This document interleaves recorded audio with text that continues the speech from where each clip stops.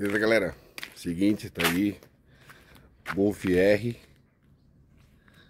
É a mesma motorização do GTI que eu apresentei que eu tinha. A diferença é que ele vem com 320 cavalos originais. Ele tem uma pinça maior, né? De freios, tem vento de lado. E tem tração nas quatro.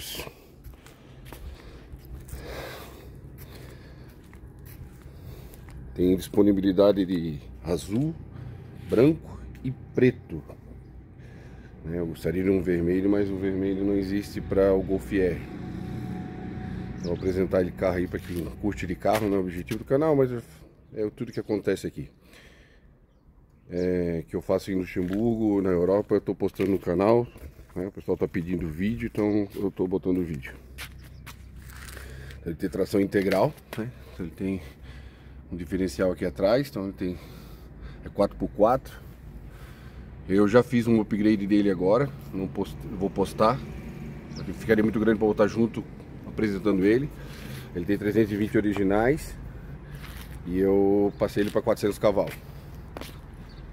Agora está com 400 cavalos reprogramado. Mas isso é um outro vídeo que eu vou mostrar a reprogramação, a, a loja que eu levei aqui.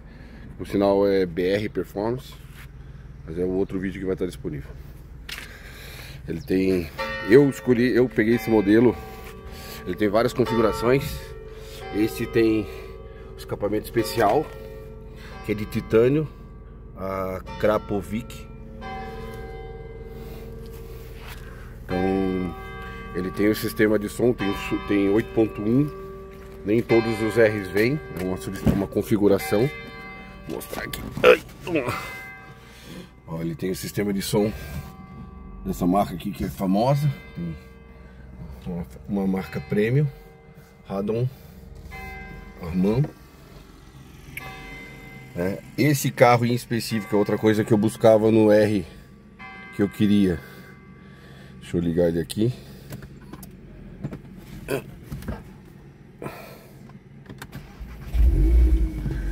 Ele tem, quando você aperta o botão aqui no GTI não tem isso, no módulo R, ele vai para configuração Racing.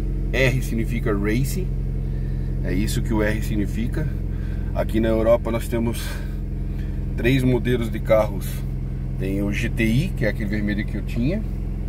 Aí tem o Club, que é um GTI com 300 cavalos. E o R, que é o tração integral com 320 cavalos e 410 Nm força de torque. Eu queria, isso aqui é um diferencial também, isso aqui é um diferencial drift. Nem todo R tem. Ele faz o que? Ele aciona 70% da força para a traseira. Então é um diferencial dele. E tem também aqui essa configuração aqui que é uma pista Another Green, que é uma pista alemã. Ele tem uma configuração especial já para o carro. Então, mas o que eu mais buscava é essa tecnologia aqui do, do drift. É, então, nem todo R tem essa função, mas esse aqui tem. É o que eu queria no carro R.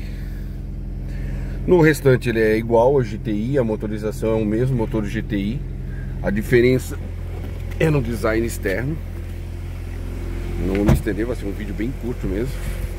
Né? É as pinças de freio, ele tem uma pinça maior, tem a letra R na pinça aqui eu acabei de lavar o carro, então tá enferrujado ali a, o disco. Mas a frente do R e do Club tem uma diferença. O, o GTI tem aquela, aquele xenon, né? Aquela luz aqui embaixo. O R ele tem um cooler extra aqui e do outro lado. Por isso que ele não tem a iluminação é, de neblina abaixo. Ele tem uma função que ele abaixa os faróis para simular uma neblina, né? Em caso de neblina ele tem um cooler extra, por isso ele tem mais cavalaria também. Por mais que o meu é o meu GTI que eu tinha, ele fazia mesmo, ele chegava aos 320 na configuração. O... Eles vêm com esse padrão cinza, né? No, retrovisor, o aerofólio dele. Existe uma versão que eu queria bastante, mas ela é muito cara. Saiu 333 unidades do R, que tem a função drift. O aerofólio é um pouco mais alto que esse, traseiro, que é o 20 years. Ele tem o número 20, no, aqui no lugar do Volkswagen tem o número 20. é um carro comemorativo dos 20 anos de Golf R.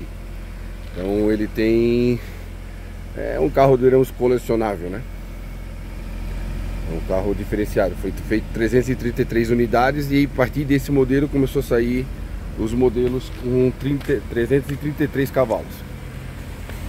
Então isso aí é o R, não tem muita diferença lá do, do GTI no, no sentido design, que tem a, a, capacidade de tração nas quatro, aumento da potência, mas isso você consegue fazer com o GTI também. Aqui na Europa você consegue, é, como é que se diz, é, é, aumentar a cavalaria. Existe, para quem conhece, gosta de carro, tem APR, é uma marca que eu até onde eu sabia era alemã, mas eu vi que a sede dela está nos Estados Unidos agora. E a APR ela faz configurações autorizadas pela Volkswagen. Aqui, aqui em Luxemburgo existe o tal de Stage Carrantuit, que é uma concessionária, que é a Lust Carrantuit, que é uma, uma concessionária do grupo Volkswagen, que eles que eles conseguem eles conseguem atualizar o motor e manter a garantia de fábrica. Então tá aí, tá o vídeo, dia chegou aqui. É só para mostrar o básico. Valeu, galera, abraço.